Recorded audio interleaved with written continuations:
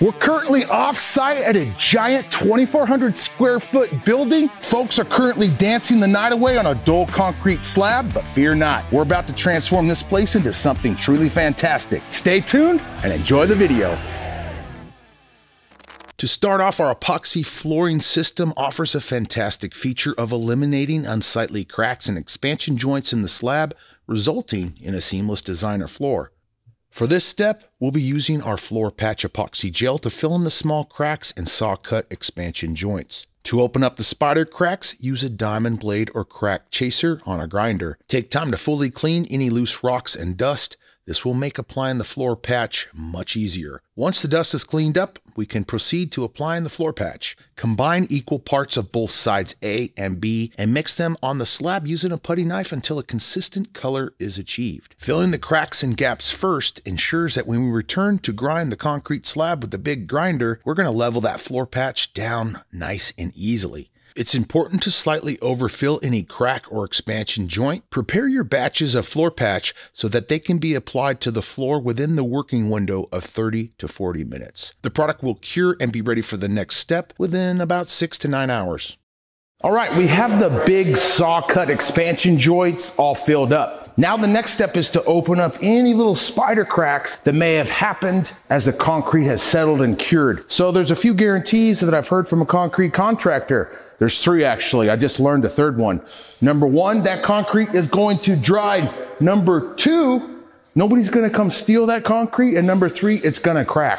So that's why they put those expansion joints. You're trying to guide where you want those cracks to go, but uh, every plan doesn't always go uh, how you plan it. So you could fill those. We're going to open those up. If it's a very thin, tiny crack, the crack patch will not get in there and fill that uh, successfully. So we're going to open it up with a diamond blade that you could pick up at the Home Depot. They also sell, I'll leave a link in the description below on Amazon, what the pros use. It's called a crack chaser blade. You don't need it, but it makes this job really, really easy. It's almost like a cone shaped diamond blade that's really easy to follow the the twists and turns of those little cracks. So I'm gonna mask up, I'll wear my eyes, my ears, I'm gonna cut open those cracks, we'll vacuum it up, and then we're gonna mix up the same product, fill those cracks, let it dry, and then the big grinder should be here, and then we're gonna diamond grind this whole floor.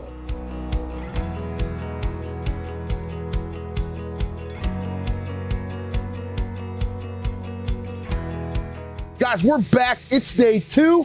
We got the crack patch complete. Kenny's on the grinder.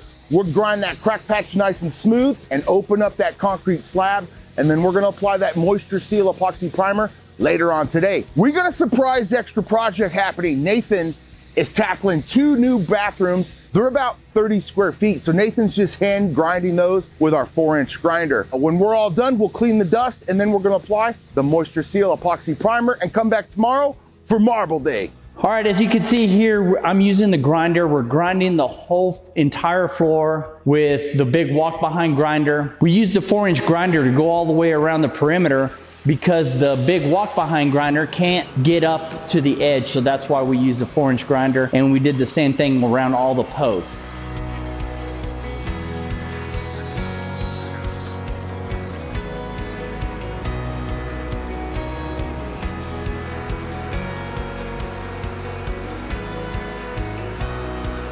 All right, so we just finished grinding the, the floor. We've cleaned up, everything looks good. We finished dressing all the patches that we had to take care of, and now we're gonna do the moisture seal.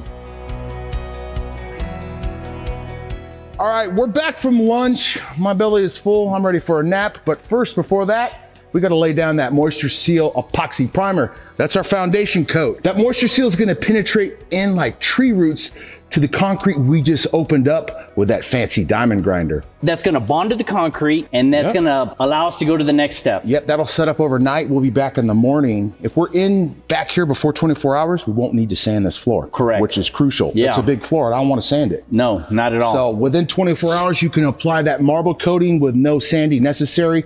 You'll have a real good chemical bond. To apply the moisture seal, we're gonna mix up four and a half gallons at a time, which Yep. are three of our kits. It's gonna apply at about 250 to 300 square foot per gallon and a half. That's what our uh, application ratio is. And then we're gonna spread it with some magic trowel floor squeegees and back roll for a nice uniform finish with a roller and then we're gonna walk out of here. If you have excessive bubbles, some off-gassing happening, depending on how your concrete is, you can use some isopropyl alcohol to pop those bubbles on your way out. That helps. And then uh, let this cure overnight. Yeah. Let's go to work. Let's go. Kenny, what's the most important step of any epoxy project? Mixing your edges in the bucket. Correct. Because if you don't mix your edges, you could have failure. Sticky icky spots. Yeah. You do not want a sticky icky icky spot on the floor. Yeah.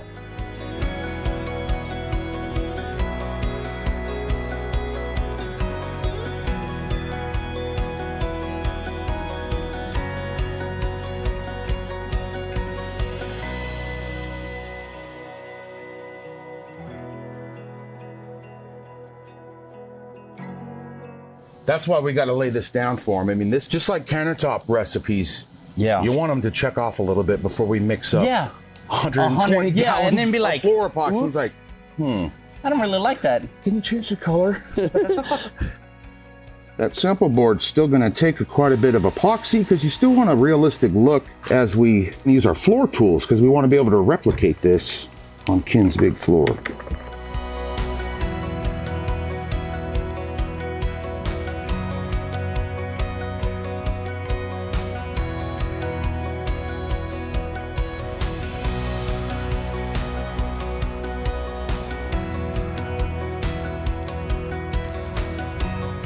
You like the flow more or the blotch? I think I like the flow more.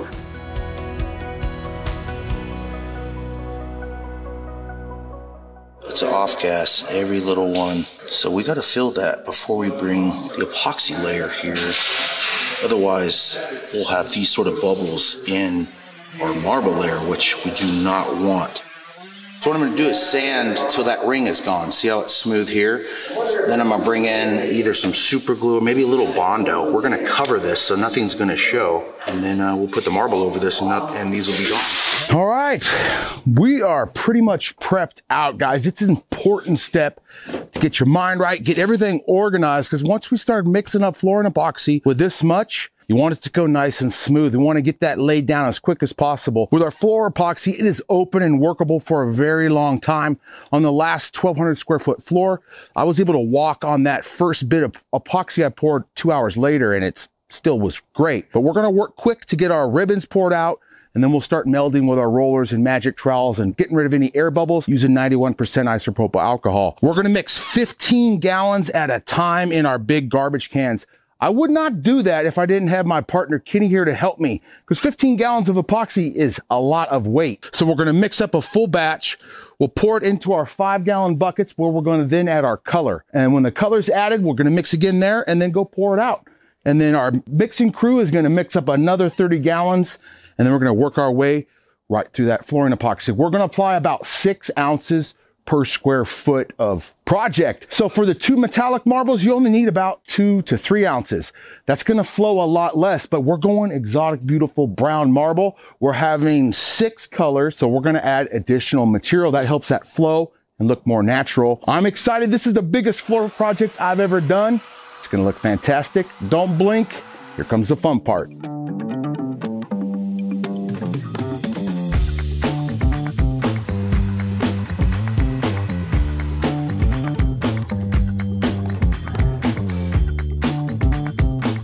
We're experimenting with a new floor style for this spacious area. Our client desired a marble floor with a seamless flow and multiple colors. To prevent colors from blending excessively, we poured wide ribbons of each color.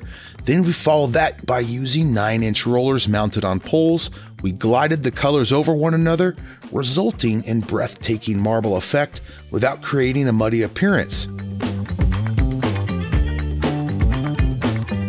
After melding, we followed that up with a gentle misting of 91% isopropyl alcohol from a pump sprayer. This technique effectively eliminates any trapped air bubbles in the epoxy while adding a captivating selling and lacing effect to the marble floor. Throughout the installation process, we applied the alcohol about three to four times, ensuring a bubble-free finish. Pouring an exotic pour bathroom floor the process is straightforward and about the same as the countertop version. Prepare the epoxy, add your colors, pour it back into the bucket, and then we're pouring an instant floor out of a bucket. Once the epoxy settled and leveled naturally, floor complete, I just came back for the ultimate top coat step, which was just about as easy.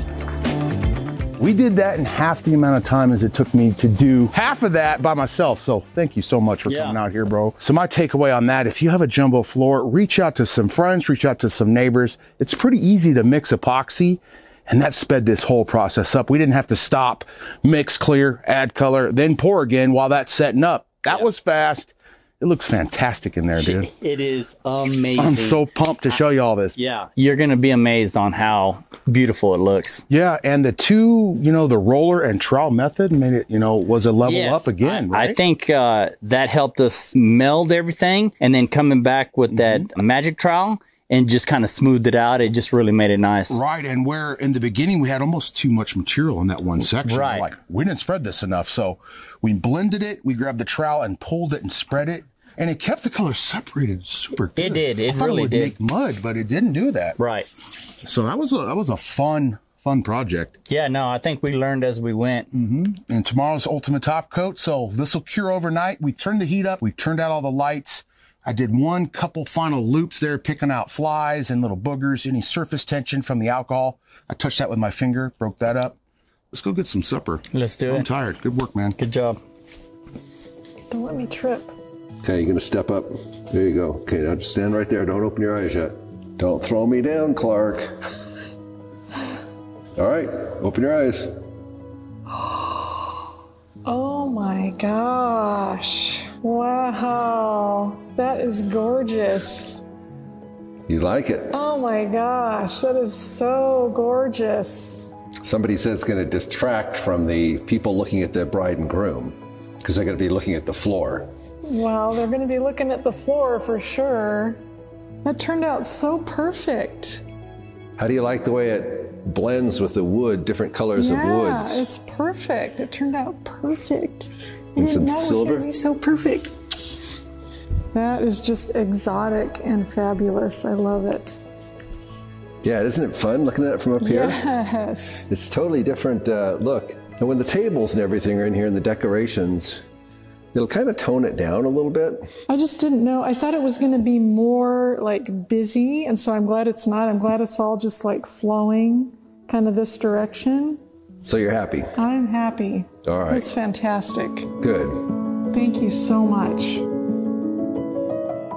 It's cold here in Oregon. It is the very end of October. Winter has arrived, so it's been in the 30s. We had to let this floor cure overnight, and that's totally acceptable and normal in colder temperatures. We could have proceeded to the next step if the temperature stayed above, you know, 50, but it got really cold, especially by the doors and the cold air blowing under the barn doors. It kept the epoxy a little too fresh to proceed to the next step. It's a pro tip, guys, to press pause and make sure that this floor is ready for the next step. Just give it a couple extra days to cure in those colder months. I need to mechanically rough up the entire floor because it's past that 24 hour open window. So I rented a floor buffer for $30 over at the Home Depot. Can't beat that price. I do not want to sand a floor like this with a five inch sander. That would be a recipe for disaster. It's going to take me maybe a half an hour to quickly with a maroon Scotch Brite pad, rough up this floor. We'll get out the dust and then we're applying the ultimate top coat.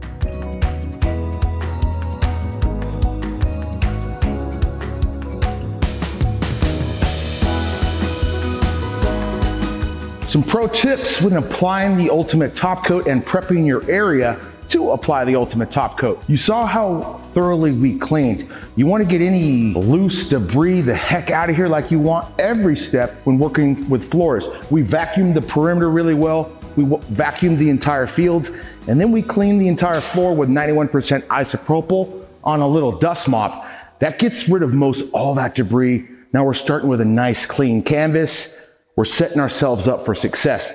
We delinted those rollers with some tape and we prepped plenty of rollers just in case we have to make a quick little switch. Because this project is huge, we're over 2,300 square feet. We're going to apply this ultimate top coat a little bit differently. We're going to mix up two kits at a time. That's three gallons. And then we're going to apply that ultimate top coat in a ribbon and spread it on the floor like we're painting a wall. We're going to apply the ultimate top coat midway through this floor. Myself, Nathan, and Ken, the homeowner, they're all going to help us. So on a big project, guys, a pro tip, grab some helpers. Even though they haven't done this, just watch a few videos, do a little practice piece, and then you're off to the races. When we get about midway through, I'll peel off and do one final pass across the floor, working my way out of the building. That way we have a nice uniform finish. That Ultimate Top Coat will dry overnight. You'll be able to walk on it within 24 to 36 hours. In the colder months, extend that. Give it a little more time to dry. We've taken the accelerator out of that Ultimate Top Coat so you have longer time to work with it. No need to run, race, and have a heart race, but that's gonna extend the cure time a little bit. In the summer months, you are walking on that floor in 24 hours. In the winter, give it yourself 24 to 36.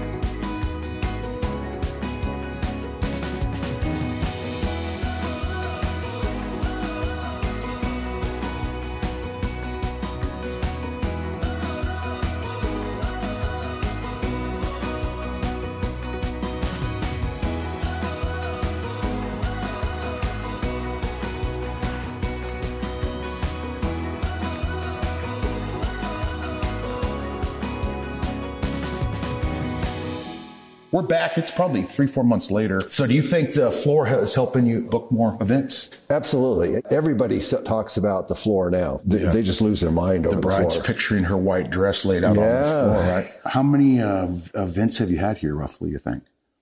We did 20 weddings last year. Wow. The year before that, 100. You've, you've been open a few years now? This is our second year full second year. Yeah. We're located in Southern Oregon, but we have folks coming from Texas to get married here. Where can mm-hmm. people learn about your event space? SungatePlace.com. Book your spot now. Come bust a move on this epoxy floor that you just saw get created with Stone Coat Epoxy. I think you need to have a move. Oh man. I, I think you should have a move for this. I got no music going. I could put on music. I could get tempted.